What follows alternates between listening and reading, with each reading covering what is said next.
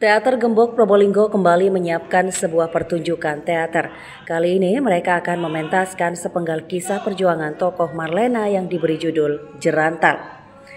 Deva Alvaro selaku sutradara Jerantal mengatakan, penampilan teater kali ini memang kembali menceritakan kisah perjuangan Marlena. Sebab masyarakat kota Probolinggo atau luar kota harus mengetahuinya sehingga melalui teater perjuangan Marlena bisa terus dikenang. Naskah Jerantal akan dipentaskan di Gedung Kesenian Kota Probolinggo. Deva membeberkan akan menggelar teater dengan tema Fragmen Kesejarahan ini pada 8 Oktober 2022. Masyarakat bisa mengetahui jadwal pementasan melalui Instagram Teater Gembok. Deva sengaja kembali menampilkan kisah perjuangan Marlena karena semangatnya Marlena dijuluki tak takut mati. Jerantal berarti yang menggebu, Marlena memiliki sifat menggebu-gebu dalam memperjuangkan perlawanannya terhadap Belanda. Pada teater Jerantal dikisahkan saat Marlena menyusup masuk ke markas Belanda. Perempuan itu dengan berani hendak mengambil senjata api milik tentara Belanda. Heroiknya saat mencuri senjata, Marlena hanya ditemani oleh kawan-kawan perempuannya.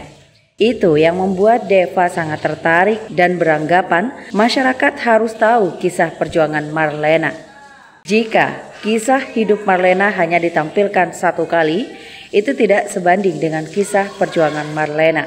Deva bersama anak teater gembok lainnya mencari data terkait kisah Marlena, seperti data internet dan belusukan ke masyarakat sesepuh kota Probolinggo.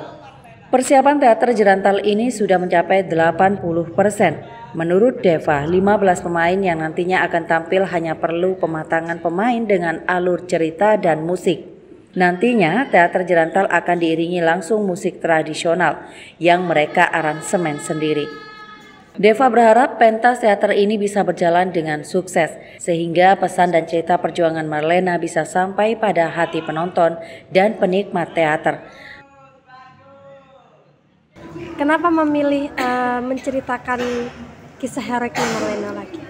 Karena menurut saya pribadi sepertinya kalau Martina ini hanya dipentaskan satu kali warga kota Probolinggo kayaknya masih belum cukup tahu jadi kita memilih untuk mengembangkan atau menceritakan lagi cerita dari Marlena. Uh, kalau ini apa data, data-data ceritanya gitu mas dari mana dapatnya? Data kita mendapatkan dari salah satu website dan omongan-omongan ke apa ya dari belusukan-belusukan ke iya belusukan masyarakat warga uh, gitu ya. dari dari cerita masyarakat juga kita ambil terus kita saring kita gabungkan hmm. harapannya untuk pementasan kali ini yang pastinya berjalan dengan sukses.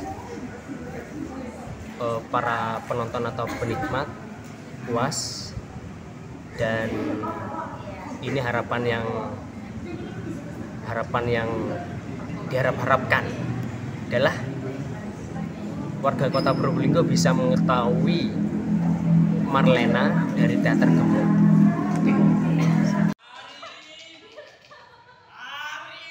Laporan Alfi Warda, Tada Today, TV Probolinggo.